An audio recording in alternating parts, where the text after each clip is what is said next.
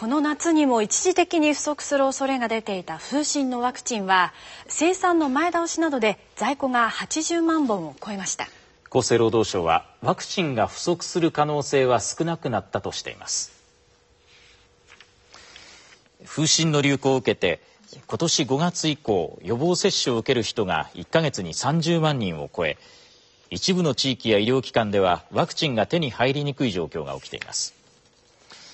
厚生労働省はこのままのペースで接種が進めば一時的にワクチンが不足する恐れがあるとして妊娠を希望する人や妊婦の周辺にいる人を優先するよう医療機関などに協力を求めていました。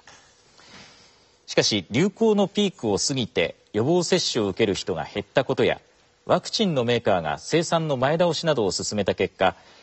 今月19日の時点の在庫は全国でおよそ82万本に上っているということです。この結果厚生労働省は5月6月と同じ数の人が接種を受けたとしてもワクチンが不足する可能性は少なくなったとしています。厚生労働省はワクチンの在庫に余裕が出てきたのでこれまで優先するようお願いしていた妊娠を希望する女性やその周りの人だけでなくその他の希望する人も医療機関にワクチンがあれば予防接種を受けてほしいと話しています。